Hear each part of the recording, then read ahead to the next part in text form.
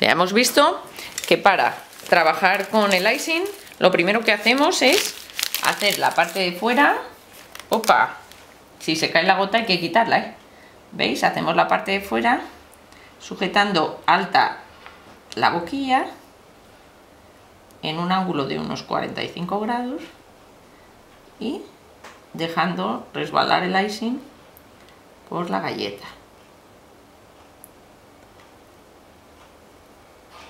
Bien, ahora dejamos que seque un poco nuestro dique antes de rellenar. Vamos a hacer otra. Limpiar la mano. Y limpiamos siempre lo que va escurriendo del icing, la puntilla.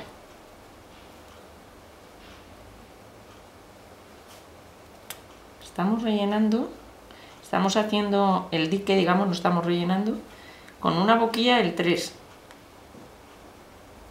Creo que ya lo habíamos dicho. Pues hacemos el dique. Y ahora vamos a poner dentro, vamos a ponerle dentro color blanco. Pues cogemos icing blanco y echamos en el centro. Vamos poco a poco llenando el centro. Intentamos que queden en los bordes. ¿Veis? Lo vamos llenando. Y entonces en principio se queda un poco, digamos, desigual. Quedan unos trozos un poco más altos que otros. Pues lo que hacemos en este momento es damos unos golpecitos y movemos hacia los lados. Si vemos que, no conseguimos que se queden, digamos, difuminados, mirad qué bien, tenía que haber esperado un poco, lo que hacemos es eh, darle un poco menos de punto al icing. En este caso es que me faltaba ahí un poquito para que llegara. Pues otra vez lo movemos, como si fueran los moldes de chocolate. Bueno, pues una vez que hemos hecho los bordes, lo que hacemos, vamos a rellenar el interior con icing blanco. ¿Veis? Vamos, empezamos por la parte de fuera. Lo más pegado al borde rosa, tampoco hay que pegar, pegar. Vamos haciendo el contorno y luego redondeamos la parte del centro. Esto podemos, si queremos ir más rápido, cambiar de boquilla y poner una 4 o un 5. Lo que hacemos es ir echando el icing. Y ahora lo que vamos a hacer es, para que quede bien y no se queden aquí estos desniveles, lo que hacemos es, pues un poco le damos hacia los lados y le damos unos ligeros golpecitos. Si vemos que con esos golpecitos y con los lados no se iguala, pues entonces lo que tenemos es un problema con el icing, que está demasiado gordo. Fijaros, nosotros lo que hacemos también muchas veces es acabamos de eh, decorar empujando nosotros, digamos, empujando con un pequeño palito, hacemos que se junte el icing en los extremos. Y como otra vez, bueno, cuando hemos puesto el icing blanco dentro, lo que hacemos es, ¿veis?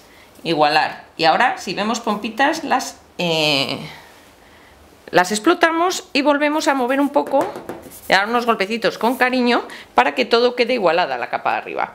Y ahora, antes que se seque, vamos a adornar un poco. Entonces, fijaros, vamos a adornar, vamos a poner aquí unas rayitas rosas.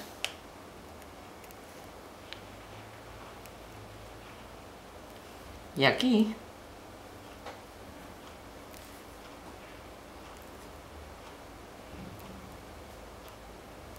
Y cada vez que pongo color nuevo, vuelvo a hacer lo mismo, lo integro. Vale, voy a poner, como he hecho también morado, vamos a poner un toque de morado. Cuantos más colores pongamos, pues más chulo va a quedar. Voy a poner morado. Esta técnica queda genial también si queremos hacer pues mariposas o cualquier otra cosa que se nos ocurra. Vamos a hacer el centro. Volvemos, digamos, a disolver unos colores en los otros. Bueno, ya solo nos queda ir mezclando